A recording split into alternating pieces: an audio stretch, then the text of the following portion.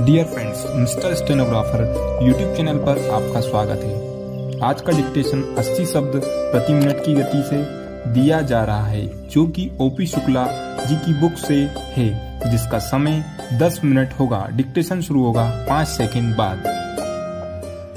उपाध्यक्ष महोदय, इस बिल को इस सदन में लाने की आवश्यकता इसलिए पड़ी कि इस समय जो पहले के राज्यपाल हैं, वे अपने सिद्धांत और आदर्श में गिरते चले जा रहे हैं, जिससे देश के जनजीवन पर बुरा असर पड़ रहा है।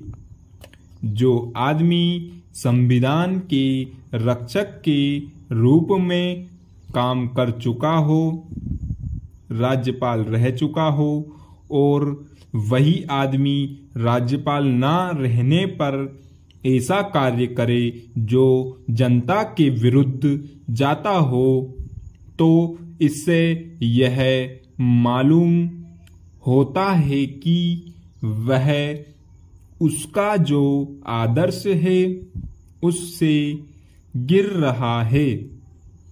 उसके सामने, उनके सामने हमेशा यह आदर्श रहना चाहिए कि अधिक लोगों का हित हो और हम लोक राज्य की स्थापना कर सकें।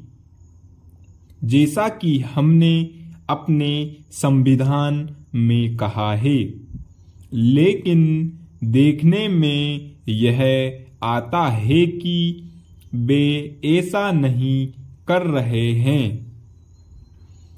पैराग्राफ।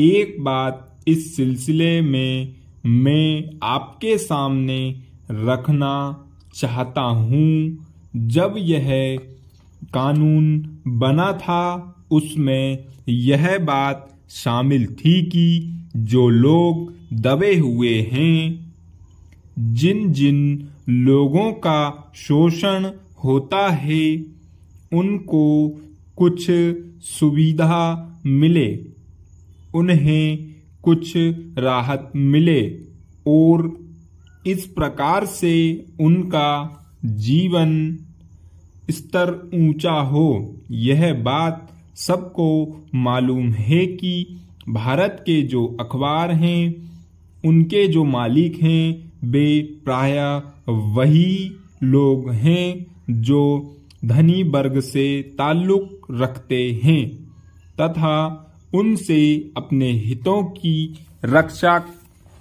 का कार्य भी करवाते हैं। इस कानून के बनने से उनको ऐसा लगा कि हमारे जो हित हैं, उनको धक्का लगेगा और कर्मचारी को कुछ ज़्यादा देना पड़ेगा। उन्होंने इस कानून को, जिसे इस सदन ने पास किया है, चुनौती दी और वे कोर्ट में गए और वहाँ पर भी हम यह देखते हैं कि उस मुकदमे की पैरवी करने के लिए एक आदमी जो कि राज्यपाल के इस पद पर कार्य कर चुके हैं, जाते हैं। पैराग्राफ, राज्यपाल के पद पर रहने पर तो हम जन कल्याण की भावना का समर्थन करें, लेकिन उस पद को छोड़ने के तुरंत बाद ही हम उसके विरुद्ध कार्य करें तो इससे यह सिद्ध होता है कि हमारे जो राज्यपाल हैं, वे राज्यपाल की इज़्ज़त को धक्का लगा रहे हैं, क्योंकि राज्यपाल ऐसे आदमी नियुक्त किए जाते हैं, जिनका बड़ा सम्मान होता है। और जो काफ़ी पढ़े लिखे होते हैं, और देश के नेता होते हैं। पैराग्राफ। अध्यक्ष महोदय, खेती के साथ में दूध का भी बहुत बड़ा संबंध है। यह कहता, कहा जाता है कि इस देश में दूध की नदियाँ बहती थीं।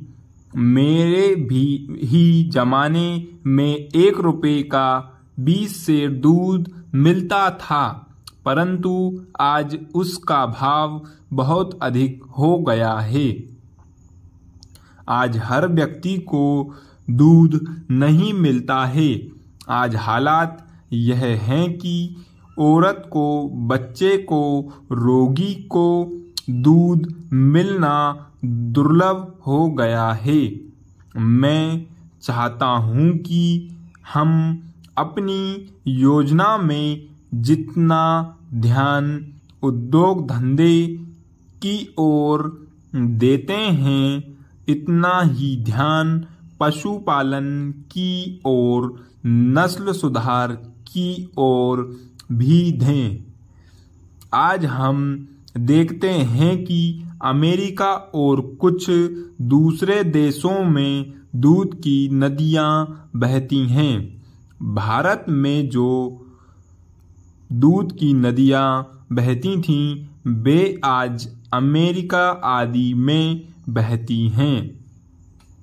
हमारा देश निर्धन देश है। हमारे यहाँ लोग फल फूल खाते हैं। बहुत कम लोग ही यहाँ मांस या अंडे खाते हैं।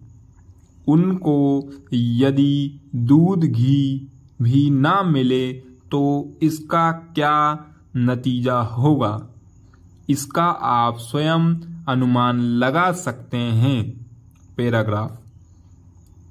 अमेरिका में एक गाय काफ़ी दूध देती है, जबकि हमारे यहाँ की गाय ज़्यादा दूध नहीं देती हैं। मैं आपसे प्रार्थना करना चाहता हूँ कि इस समस्या को आप ठीक तरह से हल करने की कोशिश करें। इसकी ओर आप पूरा ध्यान दें। पैराग्राफ।